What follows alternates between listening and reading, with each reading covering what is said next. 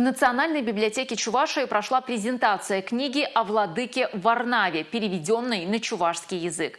«Чувашия меня полюбила». Такое произведение в конце прошлого года написала Зоя Токарева. На чувашский язык книгу перевела старший редактор Национального радио Чувашии Роза Деменцова.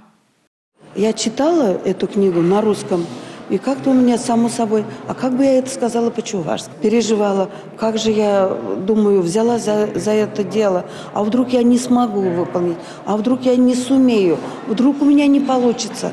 Вот такие моменты были. Испытала недостаток слов. Вот. На чувашском вот мало, мало слов, которые вот как-то можно перевести с русского. Книгу вошли воспоминания более ста знакомых с владыкой людей. Каким человеком и пастырем он был, что ему пришлось пережить. Перевод Розы Деменцовой занял около полугода и был осуществлен по благословению и под руководством митрополита Чувашского Саватия. Как рассказывает журналистка, книга не получилась бы и без советов епископа Игнатия и протеерея Петра.